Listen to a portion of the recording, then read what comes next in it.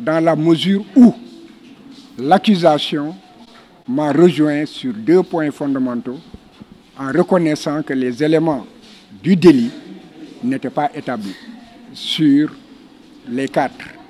Il s'agit de la sortie irrégulière de correspondance. Il s'agit aussi de la participation à un mouvement insurrectionnel. Et je crois qu'en suivant euh, mes arguments, les juges suivront aussi ce raisonnement qui était purement juridique. C'est un beau procès où du droit a été dit, de part et d'autre, aussi bien au niveau de l'accusation qu'au niveau du collectif en fait de défense. On verra maintenant ce que dira le juge sur ces deux points. Maintenant, par rapport à la complicité de tentative d'assassinat et la complicité d'assassinat, de même que l'association de malfaiteurs, le ministère public a maintenu sa position. Mais nous avons retenu, et tout le monde l'a reconnu, sur 1h25 de réquisition, pratiquement 1h05, c'était reprendre le procès verbal de police, dont tout le monde sait qu'il a été établi dans des, conditions catastrophiques de violation donc des droits de l'homme et de violation des droits des personnes détenues avec des violences et avec aussi des tortures et des mauvais traitements, jusque sur les familles, dont la femme de René Bassan. Les 20 minutes étaient seulement réservées donc, aux infractions, et là aussi les 10 minutes, c'était pour nous rejoindre, et les 10 autres minutes, je pense qu'il n'a pas pu balayer les arguments de la défense. Et dans ce sens, je pense que euh, du point de vue du droit, les juges retiendront effectivement les arguments de la défense et que nous on pourrait aller vers un acquittement sur les quatre points. Donc je suis très confiant euh, par rapport à ce qui s'est passé, la sérénité et la patience aussi que les juges ont eu pour écouter. Vous avez entendu aussi les deux accusés, les deux orphelins de la procédure, qui restent après que plus de 30 personnes aient été arrêtées et que 26 aient été mises en prison pendant 5 ans. Eux, ils sont à 7 années de prison. Tous ont clamé leur innocence et leur non-participation et la non-connaissance des actes barbares qui ont été effectivement perpétrés.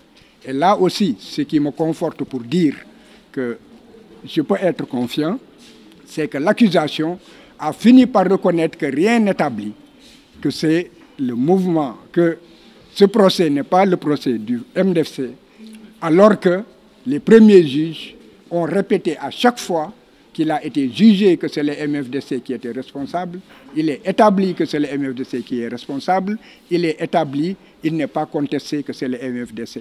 Donc si l'accusation dit que rien n'établit que c'est le MFDC, cela veut dire à partir de ce moment déterminé, rien n'implique César Atoud Badiat, et donc il ne peut pas y avoir d'intelligence ou de complicité, n'est-ce pas, dans ces faits.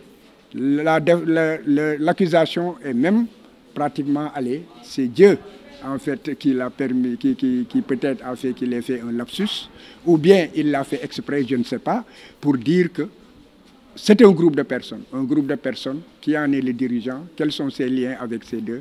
Donc, en tout état de cause, je dis que nous avons espoir et nous pensons et nous souhaitons que ces innocents puissent enfin retrouver leur famille. Pardon, une question, pardon, maître. le délibéré a été prévu pour le 30 août. Pour le 24 août Pour le 29 août, plutôt. Pour les Oui. 24 autres libérés dans ce dossier, vous avez décidé donc de, de poursuivre la justice sur le Oui, mais c'est normal. En fait, euh, il existe une loi qui donne compétence à la Cour suprême lorsqu'une personne a été a bénéficié de non-lieu ou a été relaxée alors qu'elle a été subie, qu'elle que- qu'elle a subi en fait un temps de détention, cela se répercute dans sa vie. Donc c'est l'État qui est responsable, n'est-ce pas, des prisons.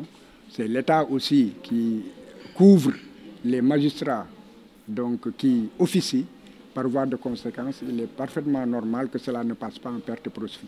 Donc il existe une loi pour indemniser ces personnes et donc nous demanderons à ce que ces personnes soient indemnisées. Vous avez vu, ce sont devenus maintenant des locs humains et leur vie euh, a été détruite.